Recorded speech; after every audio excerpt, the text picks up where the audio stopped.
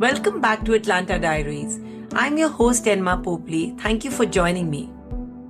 In Atalanta Diaries, we celebrate unique and inspiring stories of breakthrough women to help future generations create their own.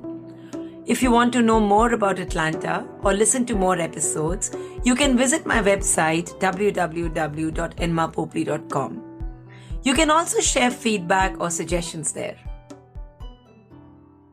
Today, I have the pleasure of introducing Bhavani Vadlamudi. She's the Vice President of MRO Digital at GE Aerospace. She's truly a trailblazer.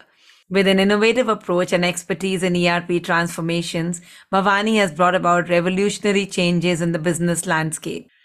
Bhavani is originally from small town Guntur in India and began a professional journey as a computer teacher at Aptech Computers, a local training institute.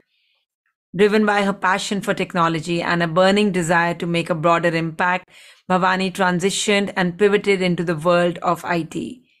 She has played a key role in building high performance center of excellence teams, delivering exceptional outcomes and implementing visionary IT strategies and solutions for the manufacturing and service domains, and therefore affectionately earned the title of ERP Queen from business leaders in multiple GE businesses. Beyond her professional achievements through coaching and mentoring, Bhavani has positively impacted careers of over 200 women at various stages, fostering their retention and facilitating upward growth. Join me as we dive into Bhavani's extraordinary journey. I am still in awe of her truly remarkable story of candor, courage, and commitment. Hi, Bhavani. Welcome to Atalanta Diaries, and thank you for taking out time to do this conversation. Thank you, Enma, for having me here. Delighted. Without further ado, I'm just going to jump into your inspiring journey. I know your mom and dad played a huge role in defining your early years. So I'd love for you to share that with our listeners.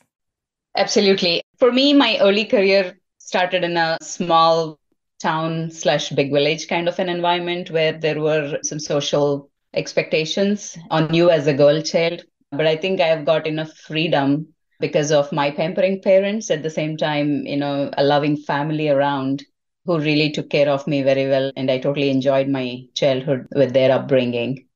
My mom is not so educated. And I think in her days she passed her seventh grade which was kind of a big deal at that time for her coming out of a village. So she definitely understands the importance of education although I am not afraid to say my beginnings were very humble. My mom was a housewife and my dad was a truck driver.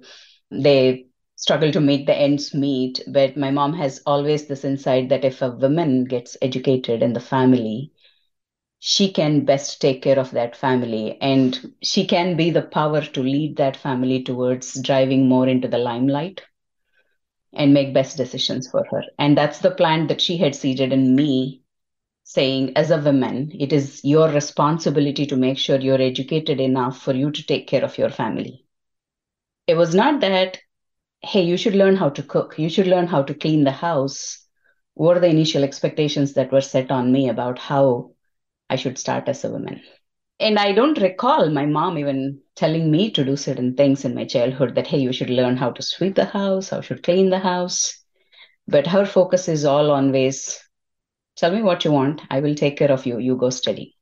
And she did that extra work although there were not a lot of jobs in that small town for women to do anything. She sold milk which she completely set aside that funding for me and my brother to go to a convent. There were a lot of other public schools where we could have gotten a cheaper education but she made sure that we got the best education even though at that point they couldn't afford it Amazing. You know, it's such a coincidence. We're just around the corner with Mother's Day. And just this morning, I've prepared a post where till today we've covered 23 episodes in Atalanta Diaries. And I think around 10 of the women have paid tributes to their moms. So I wish you and I had spoken earlier, and I'm only looking forward to adding more tributes next year this time. So at this point of time, huge respect for your mom and kudos to her to bring up Bhavani and allow us this conversation. So you must convey my regards to your mother for this itself. Absolutely, absolutely. And of course, I think she's the driving force behind me to begin with. And yeah, I know we celebrate Mother's Day in the US, but I think every day you need your mother's backing for you to be able to lead your life successfully. Totally. In the same lines, Bhavani, tell me how were your father's lessons different from that of your mother's? And any reflections come to your mind when I ask you that question? Fortunately, I've had great men in my life who paved the path for me for who I am today. Although my mom was explaining me the importance of education and how it's important for a woman to be financially independent, to be able to give better future for their family. I think at some point, again, my dad was an illiterate. He did not go to school or or anything, and I think probably he learned how to do a signature with the help of my mom for his driving license so that he he can drive the truck that's all he knows from an education standpoint but i think at some point he always thought that it's important that a woman has to be independent courageous to be able to succeed for some reason he always had this expectation on me and you know generally when it comes to strength and muscle power and ability to take care of someone is well associated with male gender and not female gender. So my dad always used to refer me as she's my elder son. And I want to share an incident which it kind of made me reflect more on how it was helpful for me in the journey. And maybe this is something that I want to share to the audience as well, who are dads of girls and younger women. When I was in my teens, there was a lot of eve teasing problem in my hometown where it was not easy to deal with because you don't know what kind of comments you'd listen to. And not always are true and you know sometimes it is derogatory deteriorating your confidence and one day i faced with that and i went with a red face to my home and my dad asked me hey what's wrong and i did explain that there was a bunch of guys sitting over there and just passing on, you know, teasing comments that had an impact on me. And he was like, why didn't you slap them right there? So sweet. and now that I reflect on it, he did not point fingers at me saying, what did you do for them to be able to say something? I heard that from my other friends where they were always asked to walk heads down but that response from my dad was his expectation on me was chin up, lady. Go take care of your problem by yourselves. And that is the spirit that he instilled in me, saying, one, I need to deal with the problems and not be sympathetic about it and reach out or cry for help. And two, the next day when I actually did it, I was almost at the point to kick those people where my dad was behind me and he told me, okay, that's enough. I will take care of these guys. Now you go home. You don't get hurt. Wow. That's such a powerful story. And that told me, I don't know if I had enough strength to do it, but I need to be confident and courageous to be able to do that. And the support will naturally come in. That's my biggest lesson in my life. If I reflect on any decisions that I have made thus far, is all about the confidence and courage that helped me make those choices in life. The learnings from mom is different from dad only because of the reason moms come from a point where she says, This is important for you, but you have to go with the society. Wherein dad is, you need to have your own courage and confidence to be able to deal with your problems to face the society, not necessarily go with the society and they beautifully actually complemented each other right so in a sense both of them prepared you from both angles, and that's just absolutely powerful. Thank you very much for sharing this, Bhavani. Let's shift gears a little bit. So, you told me earlier that you were part of faculty in college. So, from a faculty in college to engineering, what triggered that decision for you to pivot and how did you stay committed to that goal? Because you mentioned that your son was only two years old when you signed up for the engineering program and you had to travel to another city to make that happen. And that's no mean feat. So, in the small town, again, as I said, there were social expectations on you.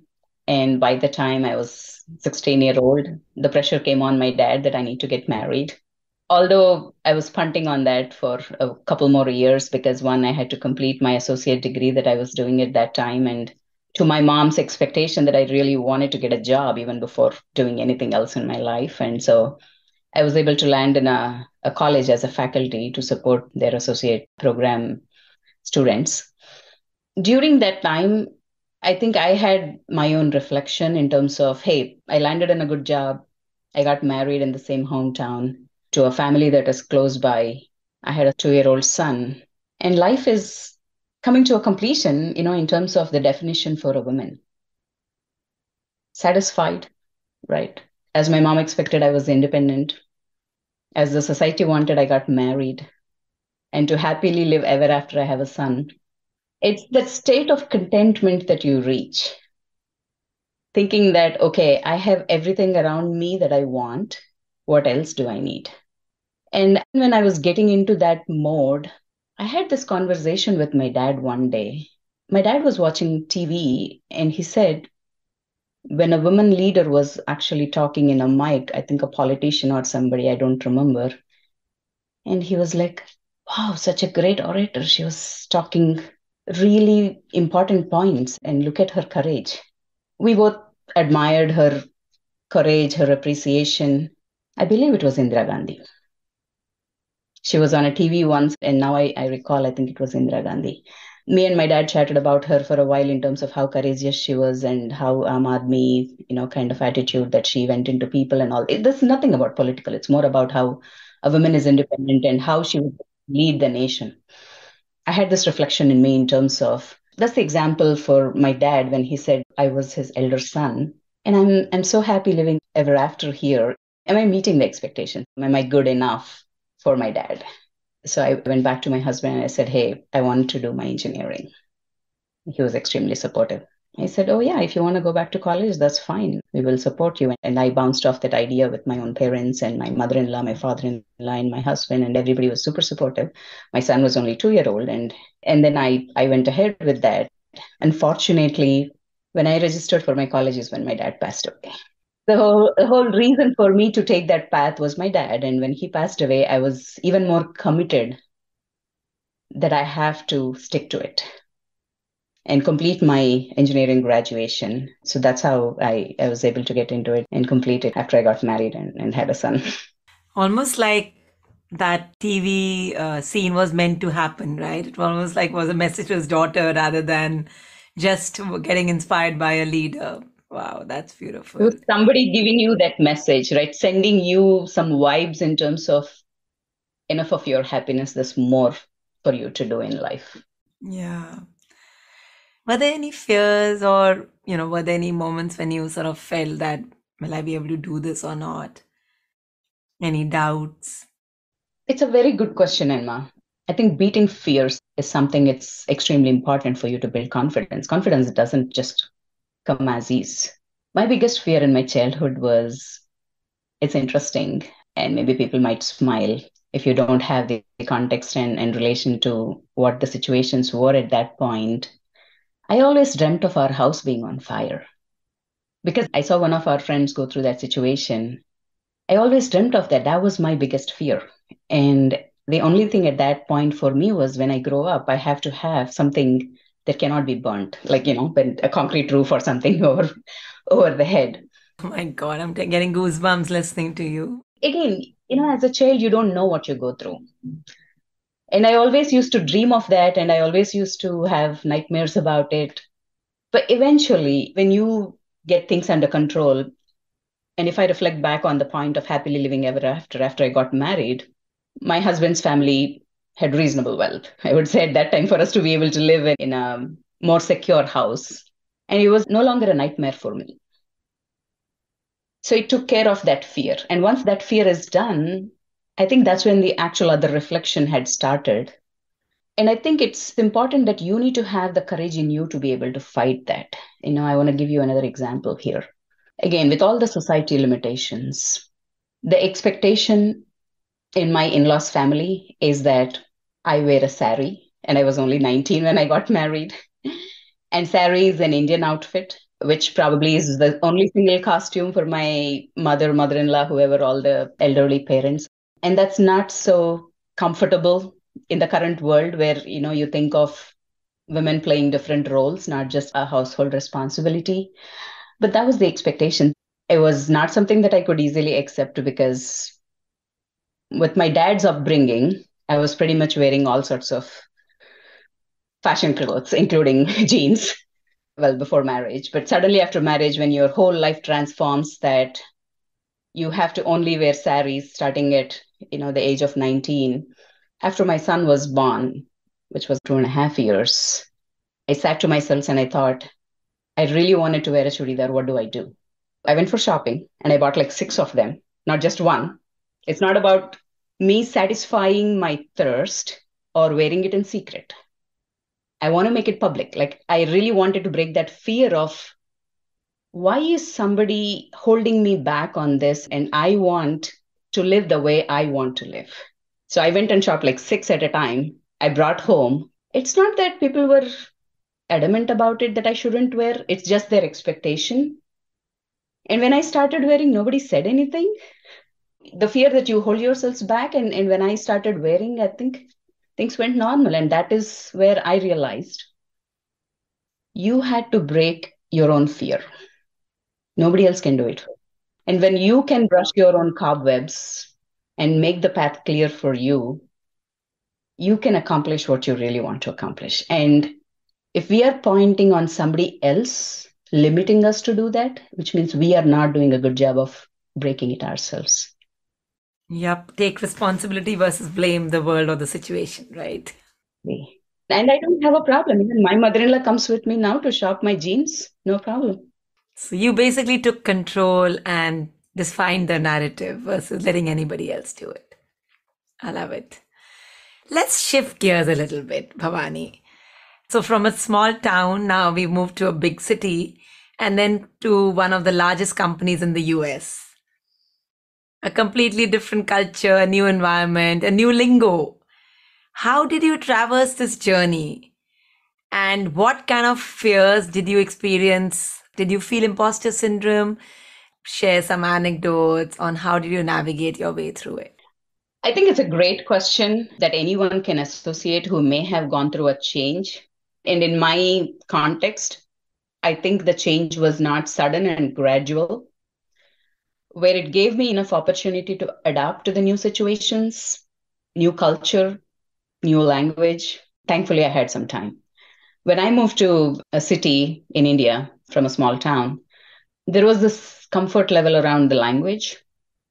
Although the corporate world was new, and navigating through the politics was something that you have to observe, learn. But I think by then I had some good people around me who helped me coach the right way. But when it comes to imposter syndrome, I never had doubt about whether I'm good enough for something.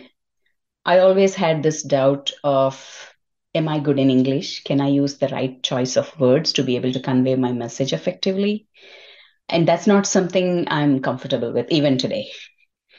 I always reflect on what I'm saying, what I'm using, and I try to stick to simple words, as Sudha Murthy once mentioned, right? You don't need to use complex words to deliver a message. Stick to basic, be easy to help people understand what exactly you're saying. And that has been helping me in a way that with simple words, how I can start communicating. Although it may sometimes take some time to get there, right? But it's a great journey for me in terms of observing, understanding the cultures, and being able to adapt to that. Most importantly, trying to get to that point of be a Roman in Rome so that you become one of them. And that that is a process, I would say. It's an evolution and not something that you can get overnight. You know, I think you're working for a largely male dominated industry with multiple stakeholders. I think you'll be the best person to help us understand a little bit about your role, and then we will segue into leadership questions. My current company that I'm working on is GE, which I have been part of for the last 15 years, and where I have grown as a person and as a leader naturally through the great culture in the company. One thing that I would really credit to is the amount of opportunities I got in terms of experimenting various roles and various technologies and be able to learn many things in a very short duration. It helped me pick up an important career objective, which is business transformation.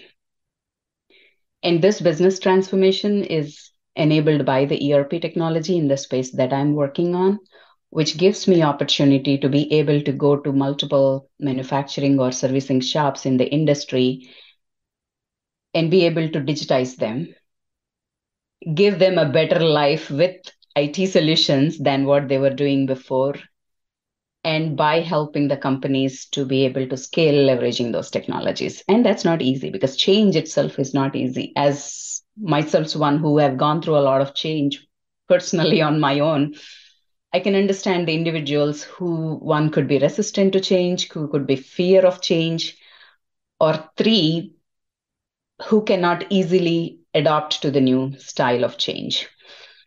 I'm currently working for GE Aerospace business, which was originally part of a big conglomerate that had 11 different verticals under it. And I had the great opportunity to work in multiple different GE businesses. Now landed in aerospace, where GE makes engines for all the commercial, military, and business jets. So I'm sure a GE engine takes off every two seconds. And if you are an airline traveler, and if you are traveling on either a four hour flight or an eight hour flight or even longer, there are chances that seven out of 10 times you're on a GE engine. Of course, yeah. and my responsibility in this company is to help with the same digital solutions for the maintenance, repair, and overhaul segment of the business. Where if you think about your car going for a service or a major maintenance, or if the engine is so much used, then you have to go through a full overhaul. The same way aircraft engines also come to the maintenance repair overhaul shops to be able to, you know, get their minor repair done or a major overhaul done. We provide the IT solutions to support that process. In an industry where safety is 99.99% important, because at any given time, there are about 400,000 people in air and the lives of all of those matters. And the company logo that we always live by is lift people up and bring them home safely. Wow. We take that as the genealogy in the dna of every individual who's even providing an it solutions to ensure that they're delivered with utmost safety and quality. And with that purpose behind you it keeps you going when you're working for a purpose. That's what helps you be successful and stay motivated in that continued journey of serving the people, serving the world. Um, and at some point, you don't feel like you're working for a paycheck, you're working for a company. It's more like I'm working on a purpose that is helping connect the world. That is so beautiful, Bhavani. And, you know, I'm very closely linked with a not for profit called Jai Vakil Foundation. As a team coach, I help our team understand purpose and build culture. Today, speaking to you in the for-profit space and you know hearing your passion on focusing on purpose is just very heartwarming and very reassuring to know that this is also a reality and you know it's not impossible for people to understand purpose. That's amazing. There were so many questions which came to my mind when I was listening to you. Since we are all in that positive frame of mind, share with us what are your joys as a leader in this transformational space? I think the first thing that comes to my mind as a leader is why should I follow this leader? Whether it is a leader in your company or a leader in your nation or anybody else, why should I follow this person? Because we believe that this person will do some good to you. And the first quality that naturally comes is the person empathetic enough to understand where I stand and how to help me get to the next level. And that is the first criteria that I look for any leader to be able to understand what they're going through and be able to help with them. And the second one that I think about is problem solving as a leader. A person is seen as someone who can solve a problem, is someone who has always an answer to a question. And that's where the person who's everybody looking up to always have to have that problem solving mindset to be able to address some of these questions Third one that I wanted to say is the courage. As a leader, you should be able to jump into the ocean first to know the depth of it before you ask someone to jump into it. So, those are the three things. And when I think about the joy as a leader, if I am able to have an opportunity to experience or give any of this to someone who is looking up to me, that's epiphany to me. Any examples come to your mind where you felt very accomplished or, you know, okay, today I've done my job as a leader? When there are situations where you continue to coach or mentor individuals in terms of helping them overcome their fears, overcome their opportunities, and finally, when they get promoted because you were able to help them, it's not because I'm in the power of the position to promote them, but because they truly are at a point where they deserve it, is probably the happiest day in my life. I love that. Yeah. Bhavani, what do you think of vulnerability as a skill? And are you able to bring vulnerability in your leadership journey? It's my favorite topic, to be honest. If you are not vulnerable, you're not trusted as an individual, let alone a leader. And there are these questions as a leader how often should I cry? I'm like, this is not about crying. This is about you opening the transparency doors to others to be able to see through you for who you are. And if I have to say that I am having a bad day and I need some rest to be able to recover myself, I should be okay saying that in front of people. It's okay. There is no need to put a straight face and go to work and internally, when things are boiling in you, and you don't have the right state of mind to be able to deal with your day to day issues. And I think when you do that, when you are open to people about what you are going through, then one, they understand where you are. They may be able to help you. If you are ready to accept it or not is up to you. But I'm sure people are kind enough to understand that. And it helps build trust, which is extremely important in any relationship. It also gives them permission to be vulnerable. Leaders showing vulnerability, it also allows them that they can talk about what's going on in their head inside. Exactly. Yeah. Lovely. Share with us a challenging experience as you traversed your journey in corporate America. I probably came in to America in a generation where a lot of diversity and inclusion was already taking a shape. And I know a lot of the predecessors may have had more challenges than I faced, but I think I was fortunate enough to come in at a point where there's a lot of appreciation for diversity and you can be who you are, which was very much appreciated. Like, for example, I wait for summers to take out my Indian outfits to wear for work. And I don't feel, feel guilty about it at all because this is you celebrating yourself and your culture, which makes you comfortable and feel good. When it comes to work related challenges, there are some preconceived notions about how we deliver work or how we deliver a message. I think the biggest cultural barrier that I faced was when you receive a feedback, you have to understand what that feedback is.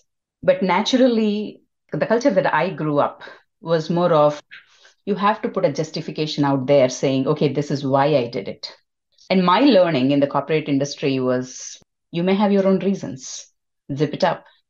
But when somebody is giving you feedback, take it, understand the point where the person is coming from, and that is the biggest change that i have to adjust to where the natural instinct is to go in and justify what you're why you did it which i think is an important transformation for me to be able to listen the point of view of the other person before i jump in and say this is why i did it. There are some interesting aspects in every culture that you learn and I think in the US, that's one important thing that I learned is how do you pay more attention? How do you listen to the other person? How do you understand where they're coming from and what's their point of view?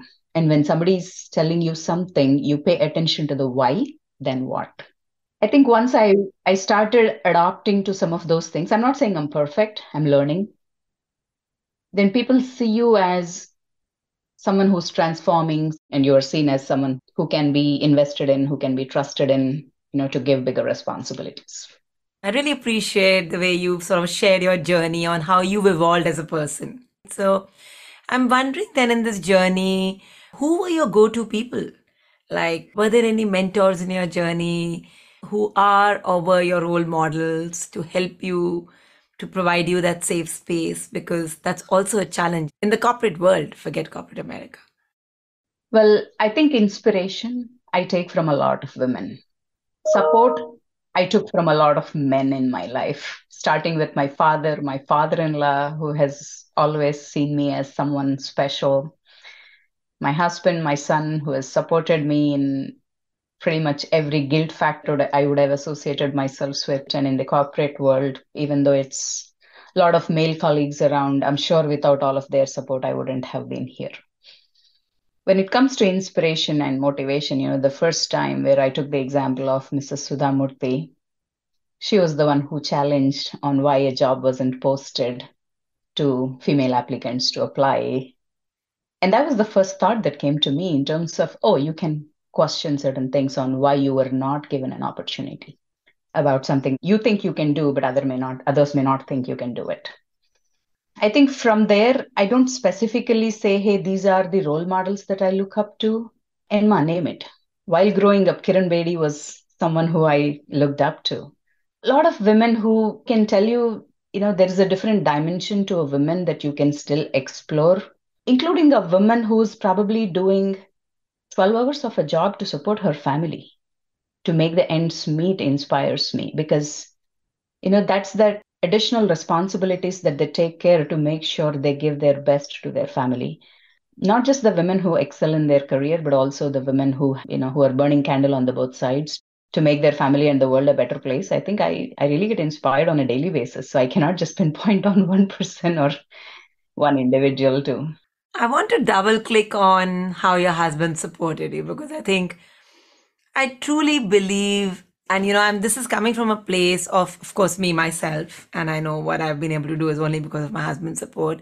But i was just reflecting this morning. I spoke to an amazing lady called annette philip she's a musician and a composer in berklee.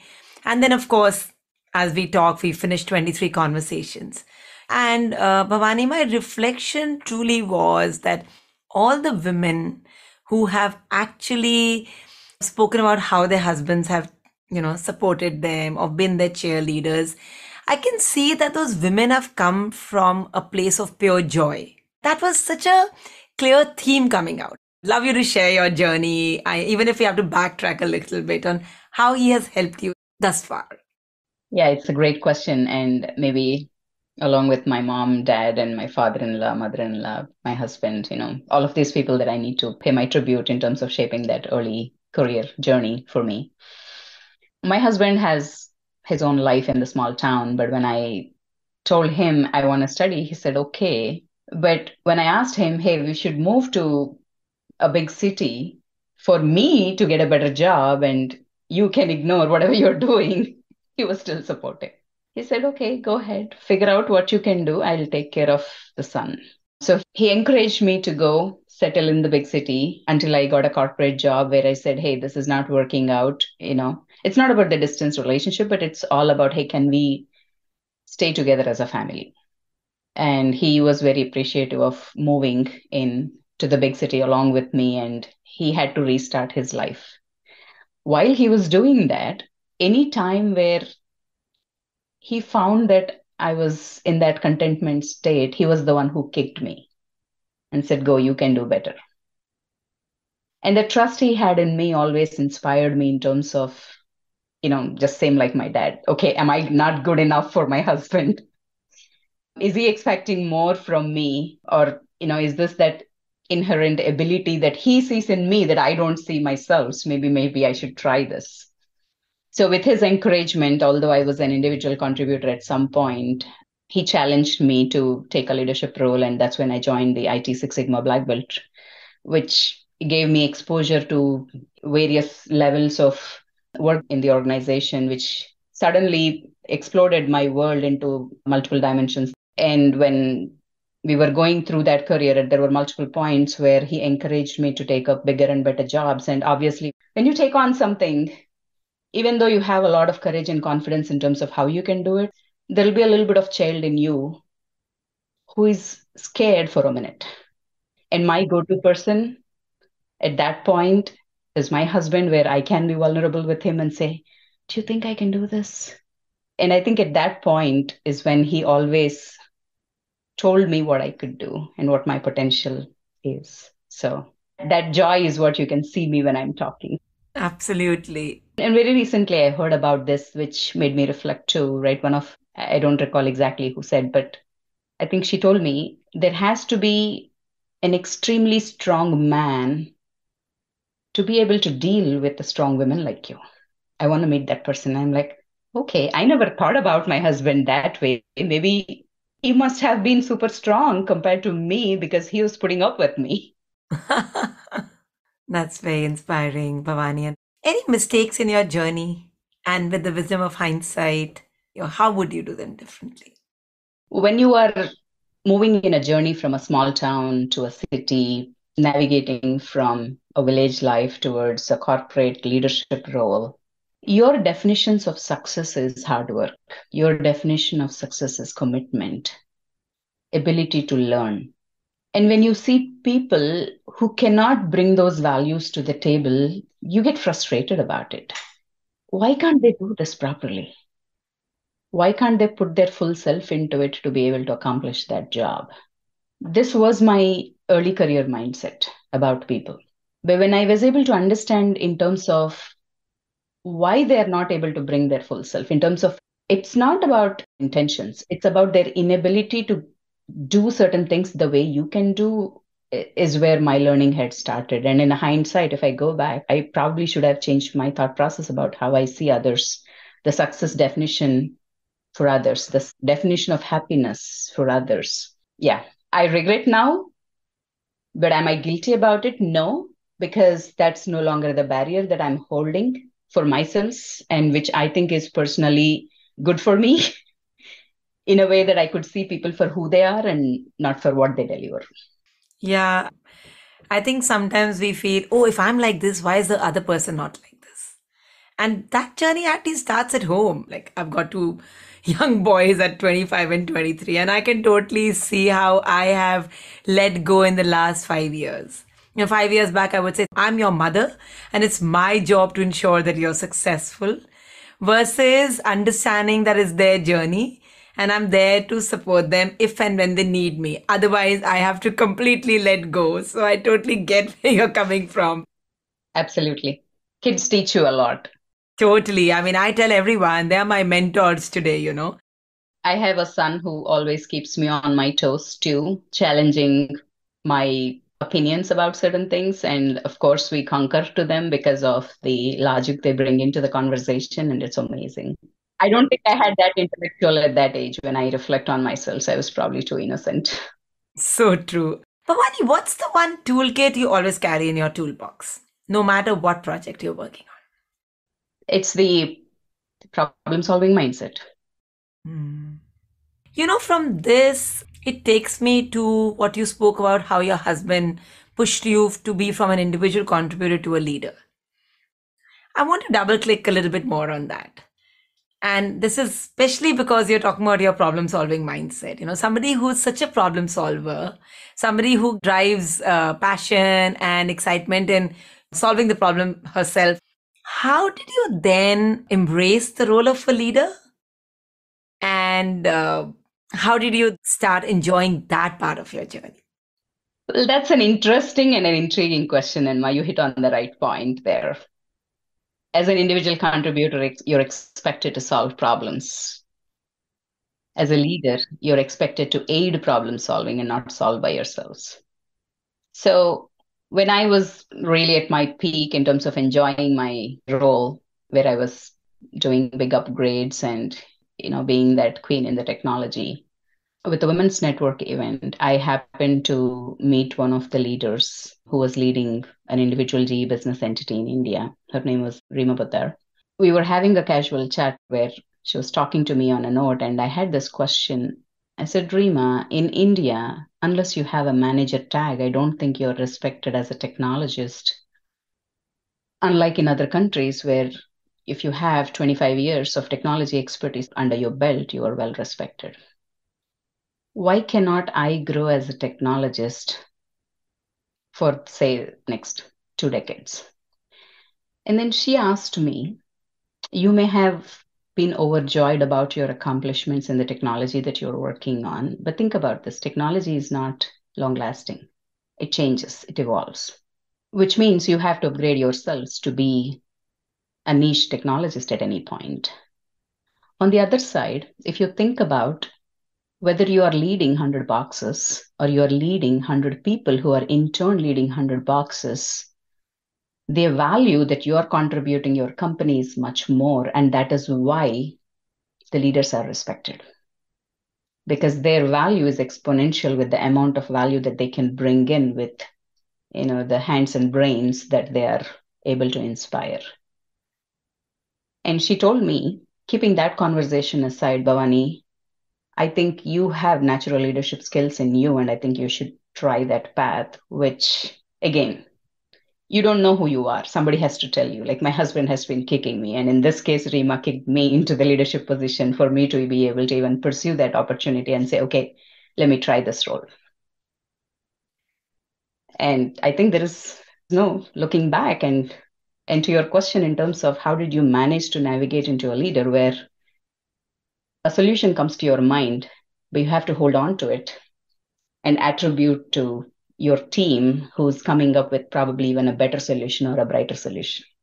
That's a challenge because you have to navigate them towards giving the best solution.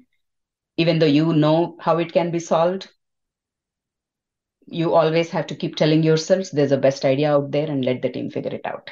And it took a lot of time for me to practice, not jump into the problem solving, but be there for people. But again, even as a leader, there are problems that you have to solve on your own. That makes a lot of sense.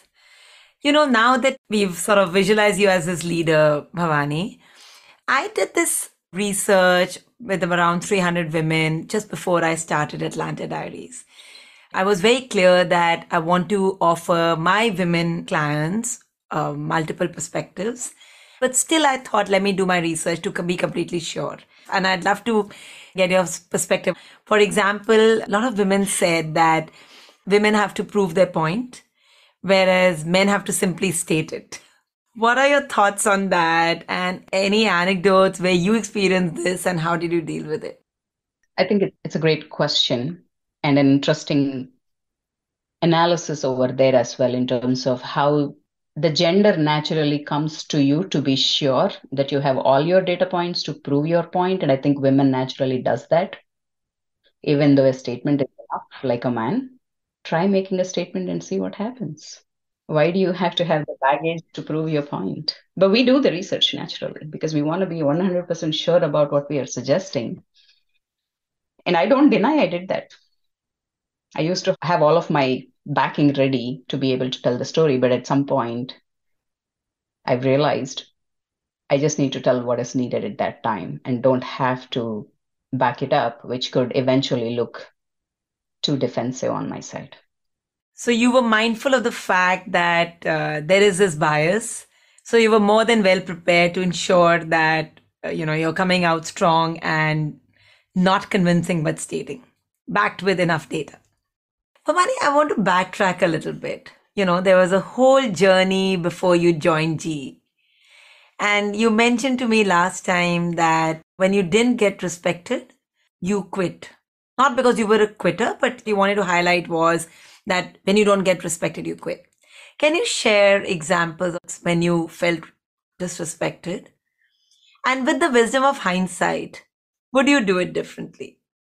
it was not an easy decision to quit things, right? Because generally you don't like to give up. You want to prove yourselves to do it. But when it comes to respect, even today, I walk out. Let me share a little personal example here on why I do that.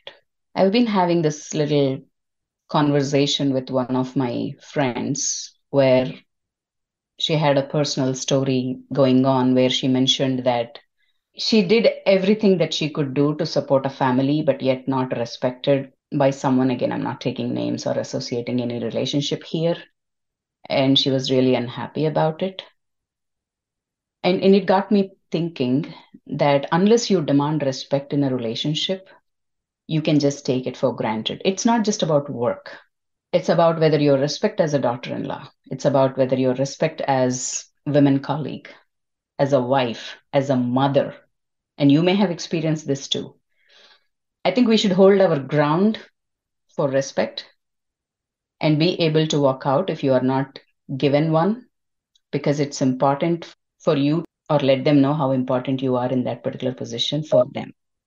And my decision back in the days was more about when I did not get respect and when I did not see line of sight to how that story can be turned over. And there is no point for me to prove that, hey, I can do this to earn respect.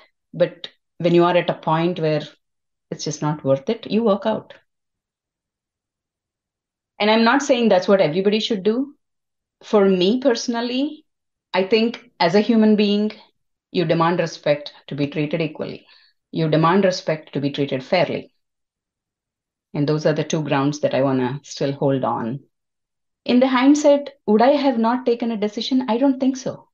I'm still standing for my decision at that point, or not at just that point, in certain circumstances where I had to stand up for my respect, just so that you're you're not demeaned. Yeah. I know you're very passionate about helping younger women or other women understanding and mentoring them. So before we end the conversation, love to know from you a little bit about your mentoring journey. Like how are you helping women or encouraging them to not give up? If you had to turn back the clock and talk to your younger self, what would you tell her? I'll start with my younger self. Okay. I felt that my initial career days were a little slower. And if I have to tell myself, I would have dropped my fears much faster than I did and started to learn more in the early career stages where I probably was content for a few years. For all the other women that I'm mentoring, every woman or most of the women that I spoke to has a unique challenge that they're facing. And I traveled a lot.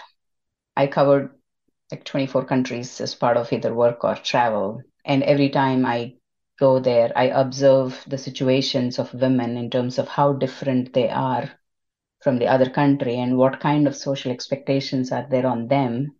And you know what? There is a common thread across, no matter whether it is an underdeveloped nation or a developed nation or being developed nation. I think the common thread that I noticed is the expectations on women about owning the children, taking care of them, is not going anywhere.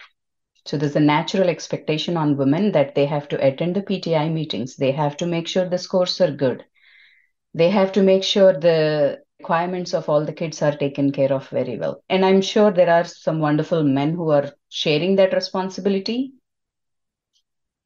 But naturally, when you think about the expectation, it's more on the women where women carry that pressure. And I'll tell you a story that I had to listen from one of my colleagues who I was mentoring. And she said, Bhavani, I love being an independent woman. I love being in workforce. But guess what happens at my house? We stay with our in-laws. They're retired and they're living their happy life. I have two children. I make sure everybody's fed in the morning and pack their lunch boxes to go to the school, and I go to work.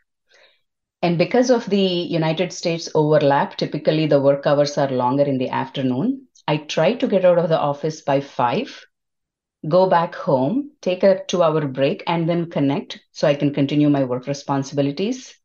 But for any reason, if my calls get longer and my meetings get extended where I'm not able to get out of the office by 5 p.m., guess what? My kids will sit starving, waiting for me at my house until I come back. So that is the support women need. There are elderly parents in the house who don't think their daughter should be working, and their way of expressing that is by not taking care of the kids. And naturally, the husband won't help because his parents think that he shouldn't be doing those chores. So when it comes to a balance, it's not about women being in the workforce, it's about the situations and the conditions and the help they get from the society and family to be able to do that. She's trying to balance her work and her kids, who are the most important things in her life. And I coached her. Have a conversation with your husband in terms of sharing the duties and responsibilities. It is extremely important for you to know where they stand in terms of supporting you and your career. And because it is the same company, I had an opportunity to coach her manager also to help explain the situation to see if he can be supportive of that two hours where she can take care of the family and get back to work and take care of the work. Mm. So, this is a mentoring network which is within GE itself that leaders have to mentor other women?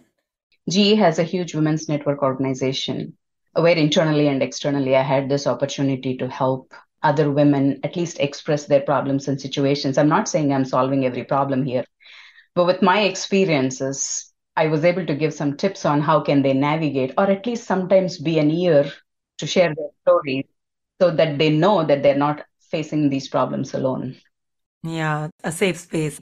I think this is a beautiful way to end the conversation, you know, and it totally ties into the mission of Atalanta Diaries, Bhavani. So, since you know Atalanta Diaries is a place where aspiring women leaders learn and unlearn their definitions of success, what are your parting thoughts for these leaders as they transition into larger roles? First of all, congratulations to you in establishing such a wonderful forum for people to come in and talk and share their journeys. And you never know where the button clicks. Thank you very much. But even if it could change one life or inspire a young girl in a small little town or a village, I think the whole purpose is accomplished. And I think congratulations to you in terms of driving the mission on that purpose, Enma. Um, it's not just easy to be consistent, you know, to be able to learn from 23 wonderful, inspiring women of the world. In terms of my parting words for for the audience who probably will be interested in listening till the end is one be empathetic to the other situations. So you know exactly what they're going through. When you know the root cause you will know how to solve the problem or you can at least advise how to solve the problem. Two be confident in terms of anything that you're taking up. Do your homework but trust yourselves first to be able to do that Thank you very much for taking out time. 24 countries, you didn't complete the sentence in one year or six months, but I can only imagine how busy you are. And I really appreciate making this important for you.